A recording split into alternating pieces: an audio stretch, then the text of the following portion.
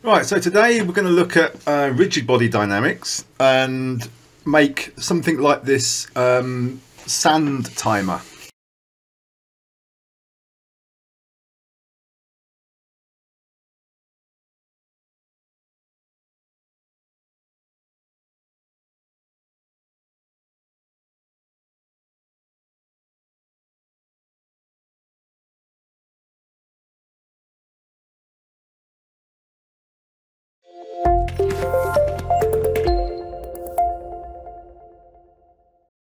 Yeah, very, very simple to do. So let's start with a new scene. I'll show you how you build this. And obviously you can um, you can elaborate on this. You can put glass textures, wood textures on it if you want to do an hourglass timer. Uh, but yeah, the idea is, is simple. We'll just grab the pieces. So we just need, uh, what do we need? We need, um, I can never find it when I get come to doing these. A capsule, that's what we need. Um, so I think we're going to use it that size. Um, yeah, we use it that size. And um, the first thing you do, rather than make glass textures and things like that, which could slow it down, um, really quick view in the viewport here is either to click on basic and click on x-ray, but for me that doesn't make it transparent enough. What I like to do is right click, go to render tags, then go to display. And then click on the first one that says use, shading mode, change that to lines okay and now we get this very open see straight through it um, capsule shape. Okay so now we can go back to object. We can increase some of these segments here because we're probably going to have a, need a few more around here like that. And now to make it into an hourglass we simply grab from the deformer menu a bulge. Okay we put the bulge as a um, as a child of the capsule and then we do fit to parent and then we reduce the height about say about 100 so they're all yeah so do 100 uh, click on fillet and then we want to reduce minus the strength okay? So it doesn't bulge it sucks in like that. Now we can't go too tight here because the uh, the balls won't pass through. I think we can go about there about minus 96 okay if you want to turn all this off, we can just go to filter and we can turn off the deformer. Um, we can turn, I thought that would turn that off, the deformer. I think that's a deformer, isn't it? There we go. Uh, and also some other bits as well. So we can turn off the work plane and the horizon and no, turn off the horizon. Where's that? There. Okay. So completely clean scene, you see. So we can do that. Makes it a bit easier. Now, we have a capsule with a bulge in it, giving us this hourglass look. And now we need to fill it with some sand items, little balls, whatever, that are going to start in this top chamber and then filter through this hole and finish up in the bottom chamber. So quite simply, we're just going to grab a sphere, uh, let's reduce the segments down a little like that, uh, bring it down to say uh, 0.5, so they're nice and tiny as you can see that very very small little pieces there. And now if we just uh, hold alt and click on the cloner and we need to set the form to sphere. So we have these as a round ball in the top. And then if we reduce the size per step between them to about one centimeter okay and then we want to increase the count. So we'll go out and then we'll go up like that and then out. So I'm, I'm thinking what's that like 30 35 and 60 on the height. And then let's change the instance mode to multi-instance I think that makes this run quicker. Let's just check we don't we don't have any intersections. It looks like we may no, I think they're fine. Yeah, I think they're okay like that.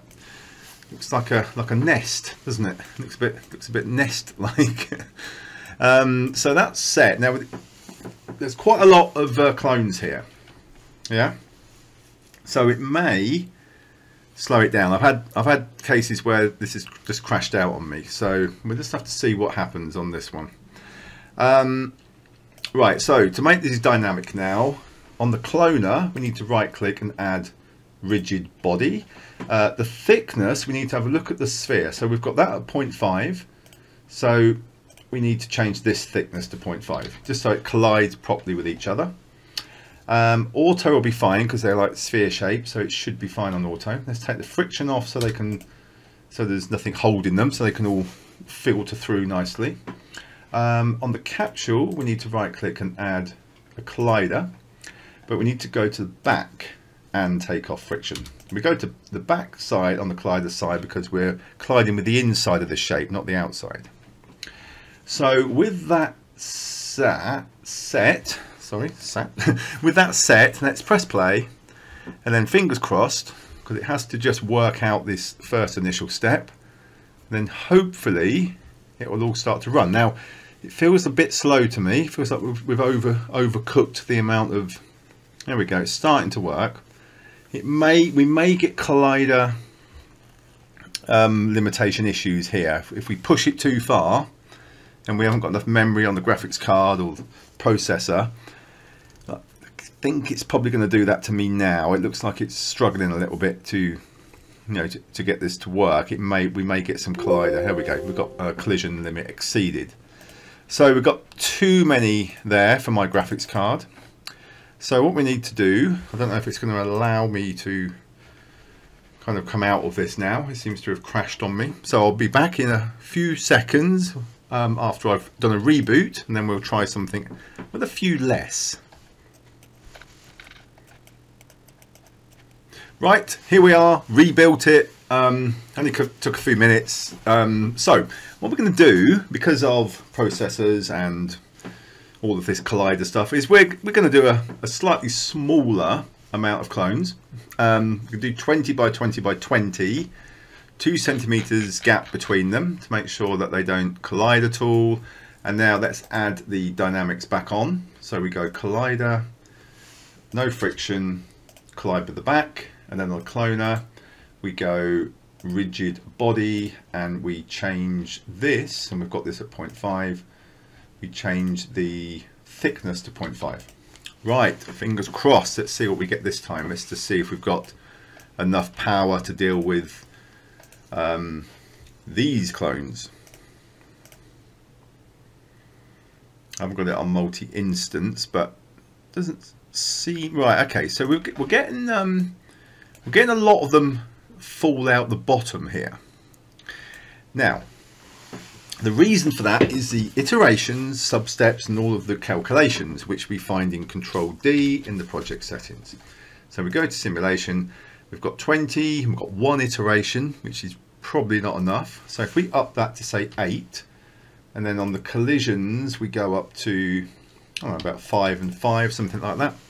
Let's run that again, and let's see if we can retain most of them inside. There we go, look. Okay, the few escaped.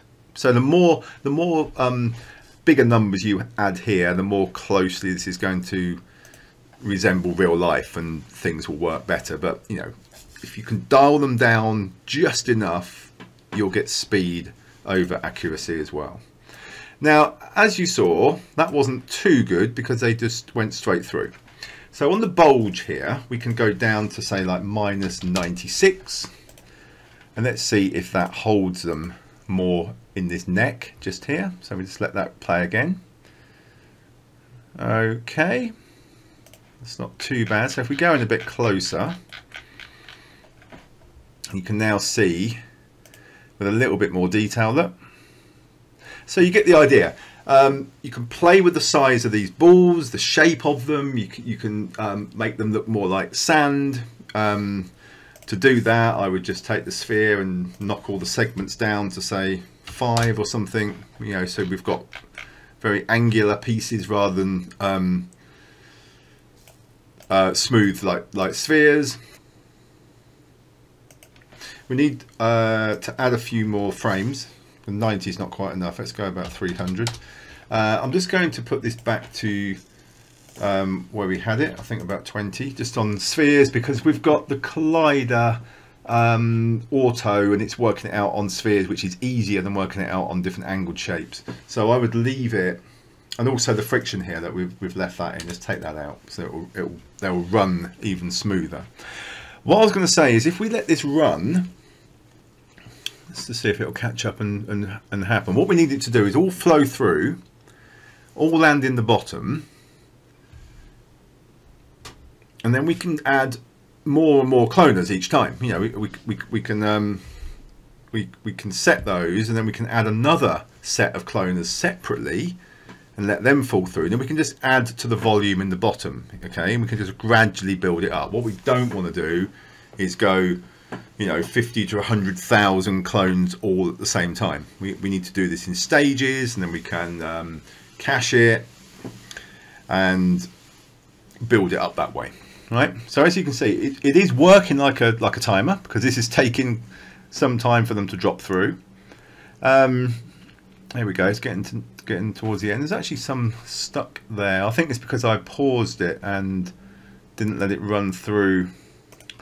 So anyway, that, that's that's the idea, right? Now, what we could also do, I just thought of another way of doing this to add more, is we could we could put this in the bottom half and then just let that drop into the bottom like this, okay?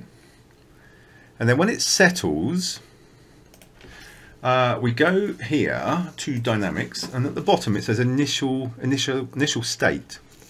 And we set that okay? So that will be the initial state when we rewind the the head back and press press play. Look it's not gone back to the ball. It's staying in that shape.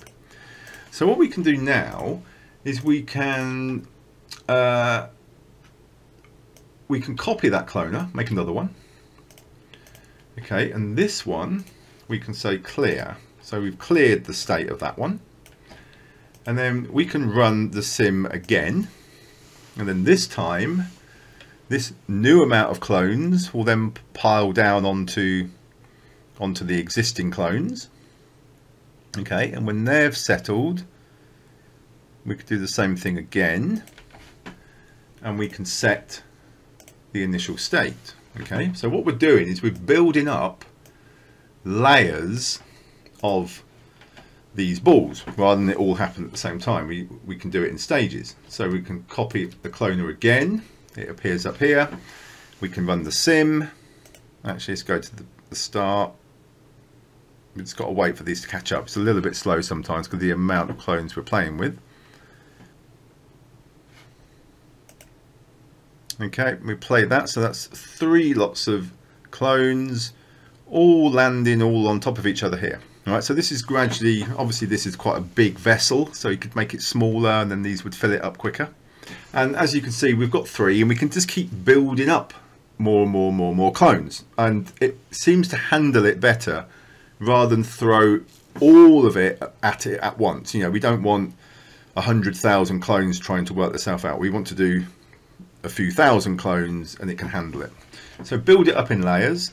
Um, what we can do after that is once the initial state has been set, we can now say, click on the capsule, let's record a, um, a keyframe here at the beginning, and then say after a second, let's move the um, playhead along uh, to 30, 30 frames a second, and now let's turn the hourglass over, completely over, and constrain it to 180 and hit another keyframe. And now, if we watch this animation play through, what I'm hoping will happen is all of these clones that we've added in will now turn over just like a proper sand timer and they'll all be gathered together so we'll get a lot more clones this way but by doing them all in stages right so these will now it will turn over and these will all fall after it's done the expansion. Here we go. And now they'll all fall into into the middle. And we are losing a few there which is down to the the collision um, passes here on in in in the project settings so five and five maybe the sub steps maybe we could up that maybe we could up this a little and then up these a little and add the M frame, frame pass as well then just see how that goes Um, you may, you know, you'll always lose a few unless you just keep bringing those figures up and up and up. So this this is it really. This is all today's has been about. It's just showing you the speed of which we can use clones. But obviously, if we push them too far, and you don't have the processor, I mean, I think I need probably a bit more processing speed, new graphics card, and we'd probably be able to push this even further. You probably have that. You could probably push yours further. So see what the capabilities are of your of your computer processor, and then you'll know how many you can do. But it's it's it's quite a lot. It's quite a lot that we can handle in here, and it's and it's doing this very quickly. Even though we've got three sets of clones all coming through here now, look, it's still splashing these around inside here. And yeah, we've lost one there, look, but because we've upped it, it's a lot less that we're losing through the geometry now. And then when this settles down, it's coming through like an egg, uh, like a sand timer. Uh, so just keep adding more and more clones, build it up, build it up, build it up, and then you'll probably get a vessel that's quite full. Put some sand texture on, put some glass texture onto the outside of, of this, build some wooden posts and things around it, make it look like an egg timer, and you've got the whole thing. So I hope that's been helpful, useful, whatever. Let me know below if it hasn't. I can take it, honestly. Um, yeah, any questions, put them in the comments below, and I'll speak to you very soon in the next video. My name is Mike German from Vizual Animation. Take care. Goodbye for now.